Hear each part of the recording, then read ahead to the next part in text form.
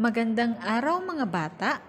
Ngayon ay tatalakayin natin ang aralin na pinamagatang Ako ay natatangi.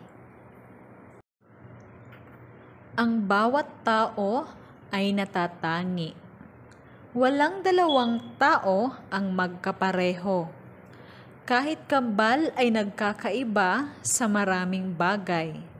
Dapat nating igalang ang pagkakaiba-iba ng mga tao.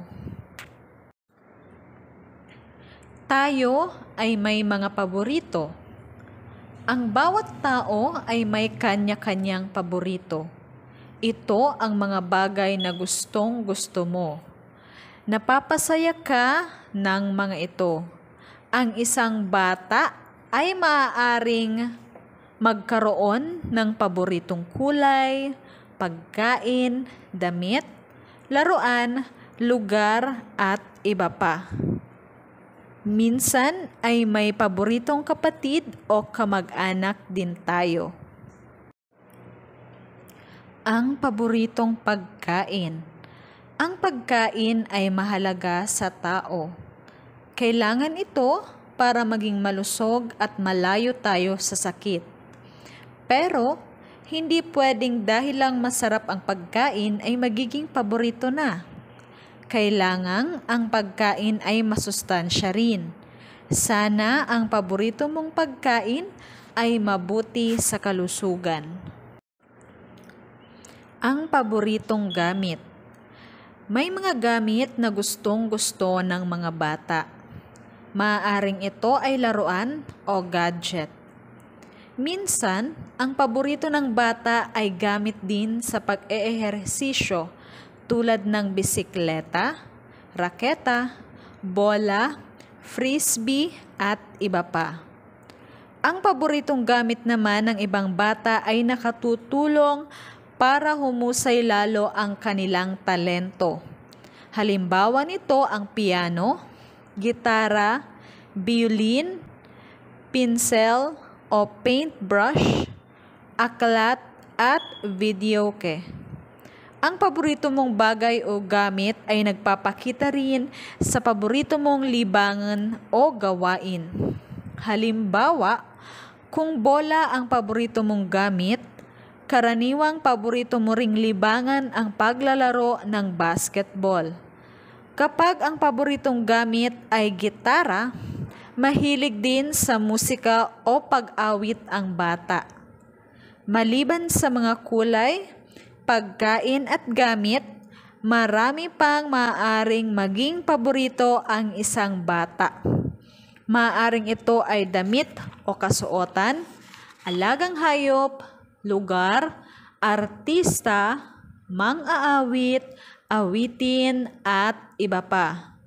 Ang mga paborito ay nagpapakilala sa individualidad ng isang tao. Para sa inyong gawain, nasasabi mo ang mga bagay na paborito mo. Unang tanong, ano-ano ang mga paborito mo?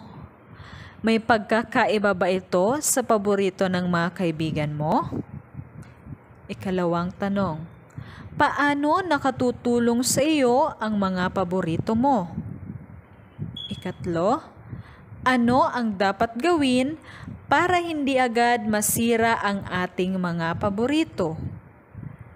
At ikaapat na tanong, bakit dapat pumili ng mga paboritong nakabubuti? Isulat po ang inyong mga sagot sa inyong makabansa notebook. Ang sunod ay ang magkakaiba ang pangarap ng bawat bata. Ano-ano ba ang gusto mong maging paglaki mo?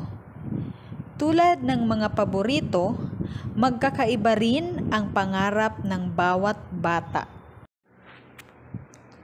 May mga batang nangangarap maging doktor. Sila ang magpapagaling sa mga may sakit mayroon ding gustong maging dentista. Sila naman ang mag-aalaga sa ngipin ng mga tao. Mayroon namang gustong maging nurse Tumutulong ang nurse sa mga doktor sa pagpapagaling sa mga may sakit. May mga batang gustong maging guro. Gusto kasi nilang maturuan ang mga batang bumasa, sumulat at magbilang. Ang ibang bata ay gustong maging inhinyero o arkitekto. Sila ang bubuo ng mga bahay, gusali, tulay at kalsada para sa mga tao. May mga batang pangarap maging pulis o sundalo. Gusto nilang pangalagaan ang katahimikan at kapayapaan ng bayan. Sila rin ang magtatanggol sa mga tao laban sa mga masasama. May mga bata namang gustong magnegosyo. May iba't ibang uri ng negosyo. Ang mga ito ay nakatutulong sa mga tao sa maraming paraan. May mga batang gustong maging chef. Likas na mahilig ang mga Pilipino sa masasarap na pagkain. Ang mga batang ito ay maghahanda ng masasarap na pagkain para sa mga kakain sa kanilang restaurant. Mahalaga rin na may mga batang gustong maging magsasaka.